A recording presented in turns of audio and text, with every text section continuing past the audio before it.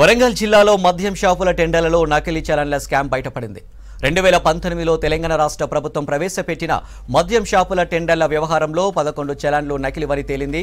వర్ధన్నపేటకు చెందిన ఓ వ్యక్తి ఈ నకిలీ చలాన్లతో టెండర్లు పాల్గొన్నట్లు అధికారులు గుర్తించారు. వర్ధన్నపేట సబ్ ట్రెజరీకి పదకొండు చలాన్లకు సంబంధించిన ఇరవై రెండు లక్షలు జమ కాలేదు. ఆ డబ్బులు ప్రభుత్వానికి రాలేదని ఆడిట్లో బయటపడడంతో ఎక్సైజ్ అధికారులు అప్రమత్తమయ్యారు. పది రోజుల నుంచి ఎక్సైజ్ అధికారులు విచారణ చేసి టెండర్ల వివరాలను సేకరించారు. వీటిలో పదకొండు ఫేక్ చలాన్లు గుర్తించారు.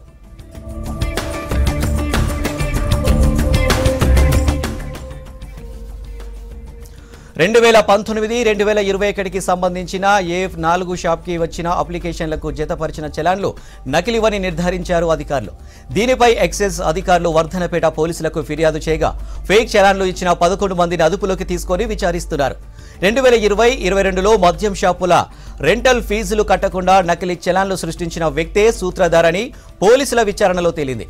ఆ వ్యక్తి తన కుటుంబ సభ్యులు తన దగ్గర పనిచేస్తున్న ఉద్యోగుల పేర్ల మీద మద్యం టెండర్లు వేసి పదకొండు నకిలీ చలాన్లు తీసినట్లు పోలీసులు గుర్తించారు.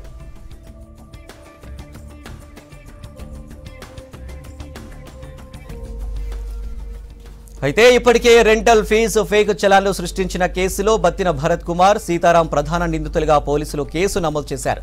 అప్పటి ఎక్సైజ్ అధికారి సే కరుణాశ్రీ బ్యాంకు అధికారి సీతారామును ప్రభుత్వం సస్పెండ్ చేసింది. ఇప్పుడు టెండర్ల చలాన్లో ఫేక్ అని ఆలస్యంగా ఆడిట్లో గుర్తించారు. పదకొండు ఫేక్ చలాన్ల విషయంలో ప్రభుత్వానికి ఇరవై రెండు లక్షలు ఎగవేసినందుకు జరిమానాగా మరో పది లక్షలు చెల్లించాల్సి ఉంటుందని అధికారులు చెబుతున్నారు. సంబంధించి A four shop licence options టెండర్లకు సంబంధించిన అప్లికేషన్ చాలన్స్ ఉంటాయో వాటిని వెరిఫై చేయగా వాళ్ళు వెరిఫై చేయగా ఒక పదకొండు చాలన్లకు సంబంధించిన రెండు రెండు లక్షల రూపాయలు గవర్నమెంట్ ఖాతాలో జమ కానట్టుగా నిర్ధారించడం జరిగిందండి. ఇది మొత్తం at the time of applications వాళ్ళు అప్లికేషన్కు ఆ చాలాను జత చేసి సూపరింటెండెంట్ కార్యాలయంలో ఇవ్వడం జరిగింది.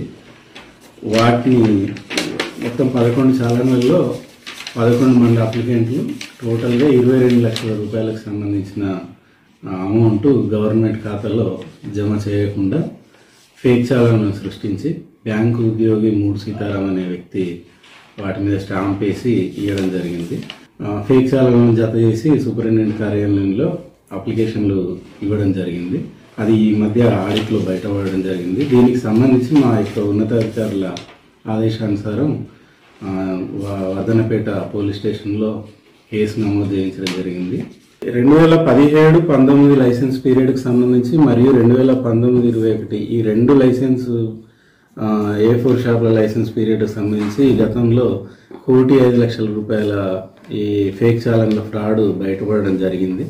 అందులో పూర్తిగా గవర్నమెంట్ ఆదేశానుసారం ప్రతి ఒక్క పైసా వసూలు చేయడం జరిగింది. పూర్తిగా దాదాపు ఫైన్లు అన్నీ కలిపి రెండు కోట్ల ఇరవై తొమ్మిది లక్షల రూపాయలు అట్టి ముద్దాయిల నుంచి గవర్నమెంట్కు మరలా జత చే జమ చేయించడం జరిగింది. ఇదే క్రమంలో ఇరవై రెండు లక్షలు ఏవైతే మిస్ అయినాయో వాటికి సంబంధించి మనం పోలీస్ స్టేషన్లో కేసు